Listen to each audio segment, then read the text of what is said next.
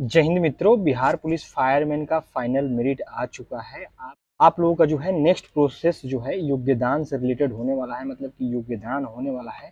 योग्यदान का नोटिस जो है आपको, आपके रिज़ल्ट के साथ ही दे दिया गया है।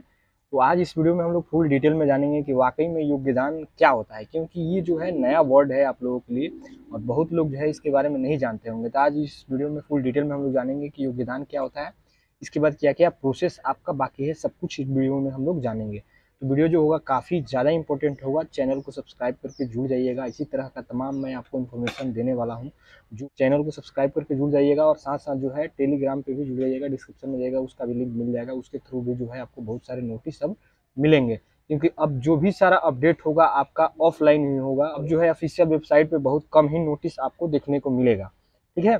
चलिए वीडियो को शुरू करते हैं। देखिए, वीडियो जो होगा थोड़ा सा लंबा हो सकता है क्योंकि सारी चीज़ों पे बात करनी है, लेकिन एक एक शब्द जो होगा आपके लिए इम्पोर्टेंट होगा। देखिए, सबसे पहले ये जान लीजिए कि आपका योगदान होगा कहाँ। ठीक है तो योगदान आपका जो होगा पटना, जो फायर ऑफ़िस का मुख्यालय है, वहीं पे योगदान जनरली देखने को मिला है अभी तक। लेकिन इस बार जो है जनसंख्या ज़्यादा है तो हो सकता है कि डिस्ट्रिक्ट अलॉटमेंट जब आपका हो तो उसके साथ साथ जो है आपका योगदान आपके डिस्ट्रिक्ट में ही सेट कर दिया जाए। जैसे कि बिहार पुलिस वालों का, बिहार दरोगा का जैसे कि योगदान हुआ, उसी तरह से आपका भी डिस्ट्रिक्ट अलॉटमेंट का एक लिस्ट और आ जाएगा सी एस की वेबसाइट पे। उसके थ्रू जो है, आपको, आपके डिस्ट्रिक्ट में भेज दिया जाएगा और वहीं पे जो है आपका एसपी साहब के सुपरविजन में जो है आपका योगदान होगा। तो इसका भी नोटिस अगर होना होगा तो दो चार पाँच दिन में इसका भी नोटिस आपको सीएसबीसी की ऑफिशियल वेबसाइट पे मिल जाएगा। तो योगदान मुख्यतः आपका पटना होगा और नहीं तो अगर आपका डिस्ट्रिक्ट अलॉटमेंट हो जाता है तो आपके अपने डिस्ट्रिक्ट में एसपी साहब के सुपरविजन में होगा। जितनी सारी इन्फॉर्मेशन है, आपको सब कुछ पता चल जाएगा, घबराने की ज़रूरत नहीं है। सब कुछ सबको पता चल जाएगा। और बाकी मैं तो हूँ ही आपको बताने के लिए, ठीक है? तो ये समझिए कि योगदान वाकई में होता क्या है, इसमें क्या क्या प्रोसेस होता है, ठीक है? तो इसमें देखिए, कुल दो तीन प्रोसेस होता है योगदान में। पहला प्रोसेस तो आपका डॉक्यूमेंट वेरिफिकेशन का होता है। उसके बाद से जो होता है हाइट चेस्ट वेट आपका मेंश्योरमेंट होता है जस्ट फॉर डाटा सीट मतलब एक डाटा सीट तैयार किया जाता है, उसके लिए आपका होता है। उसके बाद से एक दो फॉर्म भी आपसे भरवाए जाते हैं, ठीक है? योगदान के समय ही। तीन चार तरह की प्रक्रियाएँ आपकी योगदान के रूप में की जाती है, ठीक है? अब इस पर हम लोग फुल डिटेल में बात कर लेते हैं कि डॉक्यूमेंट्स में आपका डॉक्यूमेंट्स क्या लगेगा। फिर आपका हाइट चेस्ट वेट कैसे इंश्योरमेंट होता है तमाम सारी चीज़ें कितने लड़के फेल पास इसमें होते हैं या नहीं होते हैं, ठीक?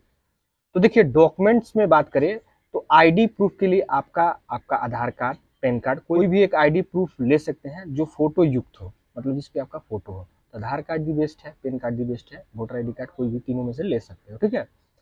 क्वालिफिकेशन की बात करें तो क्वालिफिकेशन, मैट्रिक, इंटर, दोनों का आपका जो है सर्टिफिकेट लगता है। ओरिजिनल आपको लेके जाना है और जीरोक्स कॉपी जो है, वहाँ आपका जमा होता है। डॉक्यूमेंट वेरिफिकेशन के लिए एक चीज़ बता दूँ कि अभी जो है आपका तीन चार बार जो है डॉक्यूमेंट का वेरिफिकेशन किया जाएगा। तो अभी परेशान नहीं होना है। अभी तमाम सारे समय में जो है आपका डॉक्यूमेंट्स का वेरिफिकेशन किया जाता है और साथ साथ जो है आपका डॉक्यूमेंट्स भी जमा किया जाएगा लास्ट लास्ट तक, ठीक है? तो आपका डॉक्यूमेंट्स में ये हो गया मैट्रिक इंटर का डॉक्यूमेंट्स। टोटल आप लोग ले लीजिएगा।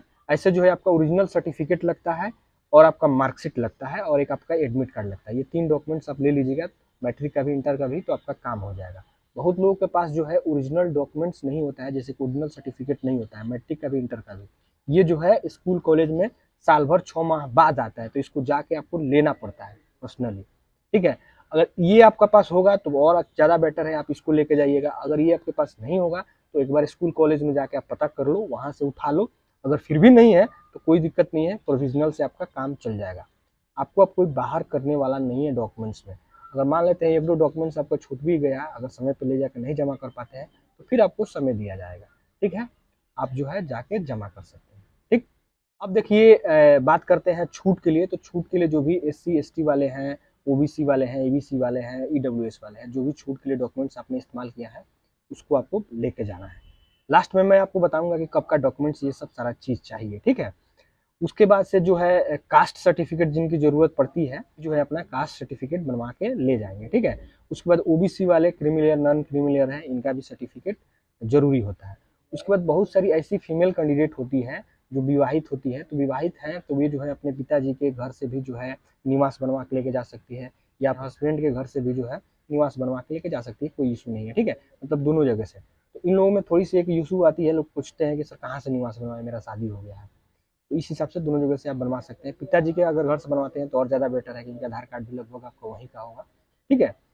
तो इस हिसाब से जो है, लड़की अपना जो है, ये निवास बनवा लेंगे, जो भी है विवाहित है या अविवाहित है। और बाकी एक्स आर्मी मैन वाले हैं, गोरखा वाले हैं, जो भी इनका सर्टिफिकेट डॉक्यूमेंट्स लगता है, ये जो है अपना डॉक्यूमेंट्स लेके जाएँगे। तो डॉक्यूमेंट्स में आपको कोई इशू नहीं होने वाला है, ठीक है? डॉक्यूमेंट्स अगर आपके पास कंप्लीट है तो कोई दिक्कत नहीं है, नहीं भी है, एक दो कमी भी है तो ये लोग बताएँगे कि भैया जाओ, ये डॉक्यूमेंट्स लेके आओ। समय आपको देंगे, उस समय में ले जाके आपको जमा कर देना है, कोई इशू नहीं होगा जितने लोगों का जो है अभी फाइनल मेरिट बन चुका है, लगभग सबको नौकरी मिलेगी, उसमें से एक के दो परसेंट ऐसे होंगे मतलब एक दो लोग ही ऐसे होंगे, जिनको नौकरी नहीं मिल पाएगी, वो भी कुछ स्ट्रॉन्ग रीजन की वजह से। इसके बारे में हम लोग आगे चर्चा करेंगे, ठीक है? अब देखिए, एक और बड़ा कंसर्न रहता है कि, सर डॉक्यूमेंट्स कब का ले जाए? ठीक है? तो जब आप फॉर्म भरे होइएगा, उस समय का यदि आपके पास डॉक्यूमेंट्स है तो उसको लेके जा सकते हैं। मतलब कि फॉर्म भरते समय जो आपने डॉक्यूमेंट्स इस्तेमाल किया था निवास, जात ई डब्ल्यू एस ये जो भी सारी चीज़ें हैं। इसको आप लेके जा सकते हैं। यदि आपके पास नहीं है तो आप नया बनवा लो। नया बनवा के लेके जाओ, कोई इशू नहीं है।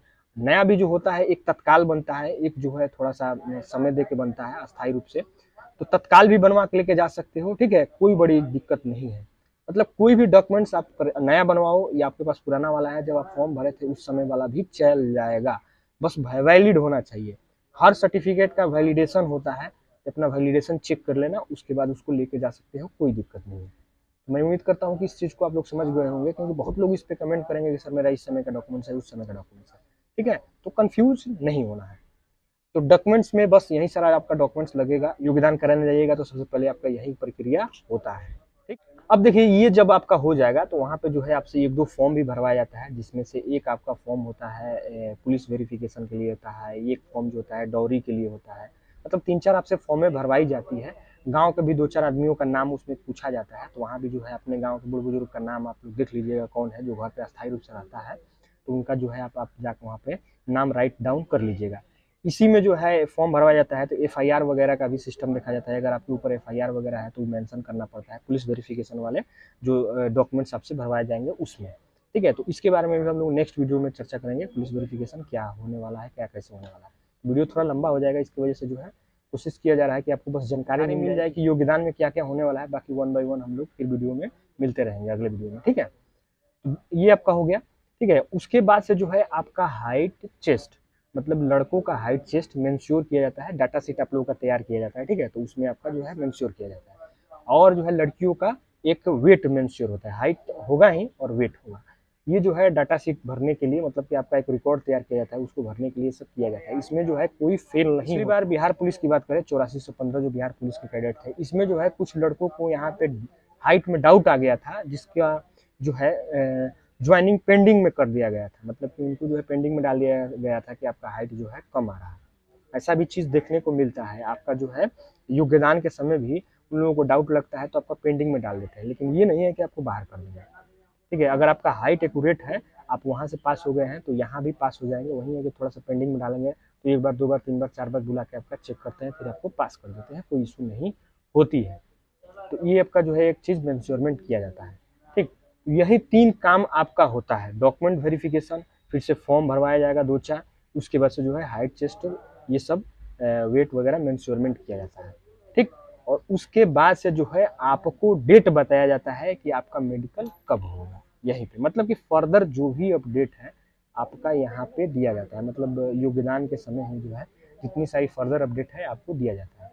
और एक बार जब वहाँ पे आप चले जाए योगदान दे दीजिएगा तो फिर वहाँ पे जो है आपको वे लोग कनेक्ट कर लेते हैं व्हाट्सएप के माध्यम से या आपको नंबर वगैरह सब कुछ मिल जाता है वहाँ से ठीक है? फिर आप बात करते रहिए आपको सारी जानकारी उसी के माध्यम से मिलती रहती है। बाकी मैं तो हूँ ही आपको समय समय पे कोई भी चीज़ के बारे में बताने के लिए। इसके अलावा भी अगर आपके दिमाग में कोई क्वेश्चन क्यूरी रहेगा तो आप लोग पूछ लीजिएगा ठीक है? सब सारी चीज़ें योगदान के रूप में किया जाता है तो बिल्कुल घबराना नहीं है। बिल्कुल समझ लो कि कोई दिक्कत आपका नहीं होता है।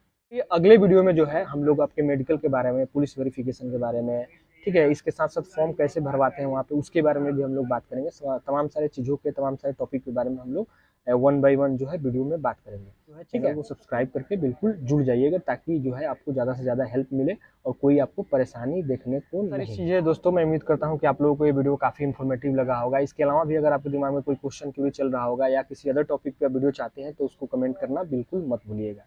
चलिए ठीक है फिर मिलते हैं अगले कोई नेक्स्ट अपडेट में। जय हिंद बंदे मातरा